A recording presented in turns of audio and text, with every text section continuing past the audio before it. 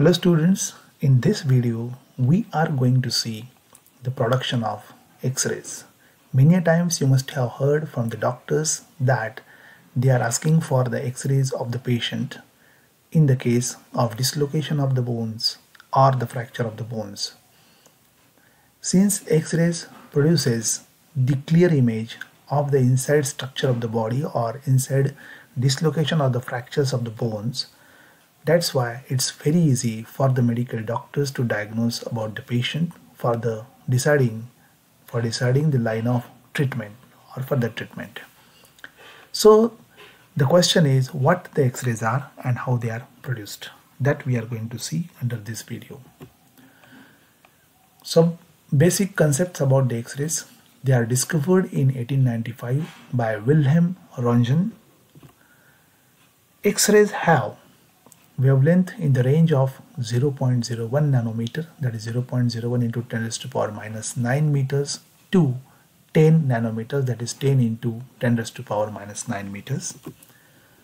They are having frequency in the range of 30 petahertz that is 10 raised to power 15 to 30 exahertz that is 10 raised to power 18 hertz while the energies associated with the x-rays lies in between 100 electron volts to 100 kilo electron volts.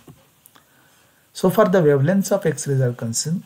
X-rays are shorter than ultraviolet rays so far the wavelength is concerned while they are longer than gamma rays so far the wavelength is concerned again.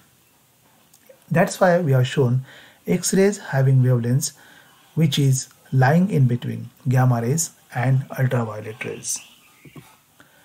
X-rays can be obtained through high vacuum tube with a heater, cathode and anode. Characteristics of X-rays X-rays basically are the form of electromagnetic radiation. They are having high energies and can pass through the body easily. Medical X-rays are used to generate images of tissue and structure inside the body. And now moving on to the production of X-rays. Here you can see a glass tube of a special kind that is a special vacuum tube. It's also called as electron tube which is operating at very high voltage is used for the production of X-rays. Vacuum tube has a hot filament as you can see here, cathode and an anode made up of very heavy metal. Electron flows from the cathode to anode as you can see in the diagram in as in any diode tube. However, a large DC voltage is used between cathode and anode of the X-ray tube.